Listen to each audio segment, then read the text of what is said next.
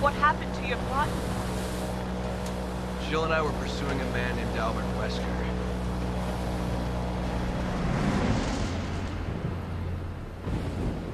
Wesker. He was a top official with Umbrella, and the leader of our STARS unit. I met him again after the Raccoon City incident on Rockford Island. Since then, we've been trying to track him down. Then a few years ago, we got a tip from a reliable source. The whereabouts of Umbrella's founder, Oswell E. Spencer. So we paid him a visit, hoping he'd lead us to Wesker.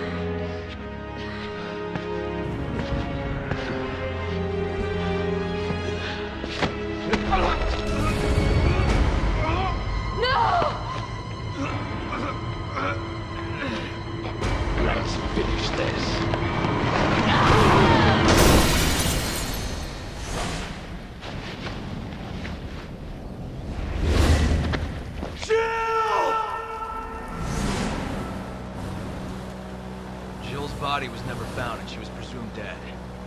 The person I saw in that data looked like her. I have to know if she's still alive.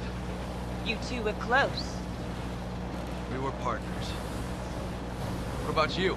Why'd you join the BSAA? My parents were involved in an accident caused by a pharmaceutical company when I was young. Umbrella? Yes. I only found out later that the accident cover up the manufacturing of biological weapons for terrorists. Were using Africa as a test bed for their experiments. Bioweapons were responsible for the deaths of my parents.